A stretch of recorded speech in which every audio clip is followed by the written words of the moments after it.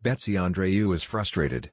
She's just watched the first two hours of Lance Armstrong sharing what the disgraced cyclist calls his truth in ESPN's recent 30 for 30 documentary. She isn't buying it.